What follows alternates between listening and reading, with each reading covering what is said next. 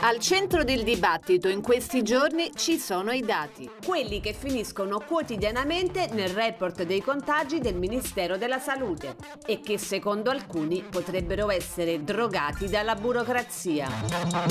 Oppure, come sostiene questo medico che svolge funzioni di dirigente in un ospedale romano, che sarebbero in certi casi volontariamente alterati. È frequente che venga scritto sulla cartella che un paziente è morto di Covid quando in realtà non lo è, Ma a che scopo? in modo che salga il numero di positivi. La stessa cosa accade con i ricoveri. Se un malato oncologico entra in ospedale e poco dopo si rivela positivo, anche se non ha sintomi diventa immediatamente un paziente Covid. È gravissimo che trasferiscano un malato di tumore in una struttura Covid. Può essere come mandarlo alla morte, ma accade spesso. Ma a che cosa servono tutti questi positivi? A fare soldi. Lei capisce che uno che mi entra in ospedale con una gamba rotta e poi mi risulta positivo non mi costa quelle cifre se non ha sintomi. Chi ci guadagna? L'ospedale prende dei rimborsi in proporzione al numero dei ricoveri e quindi tecnicamente la legge viene rispettata. Ma poi esistono logiche per spartirsi in bottino. Ma perché un ospedale pubblico dovrebbe avere questo interesse? Ci sono interessi, soldi, potere, avanzamenti di carriera.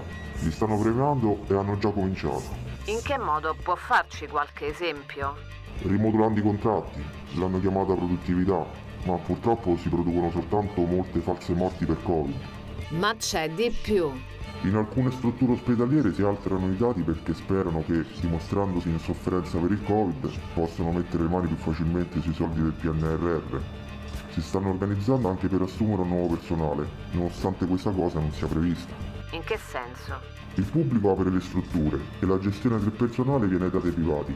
I positivi servono per alimentare il sistema.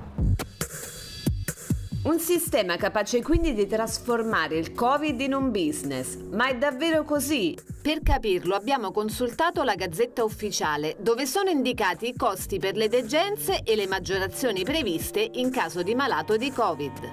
Oltre 3.000 euro per i ricoveri in area medica e oltre 9.000 euro per ogni paziente in terapia intensiva.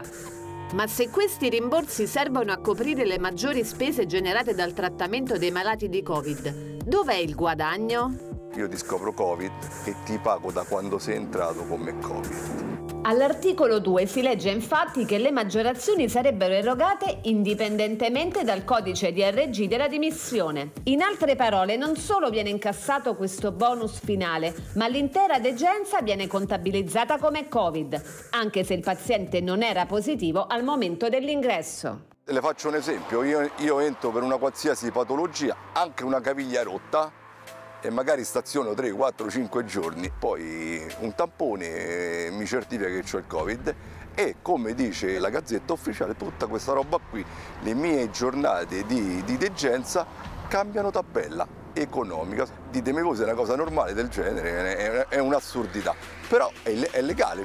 Una scelta che rimette al centro la necessità di un controllo su questo enorme flusso di denaro pubblico. Lo deve fare il controllo solo un organo terzo che monitorizzi costantemente i passaggi de- dei malati. E che getterebbe ulteriori ombre sulla gestione dei ricoveri da parte delle strutture chiamate alle armi durante l'emergenza. In emergenza sono stati venduti i posti letto alle cliniche accreditate e quelle non accreditate.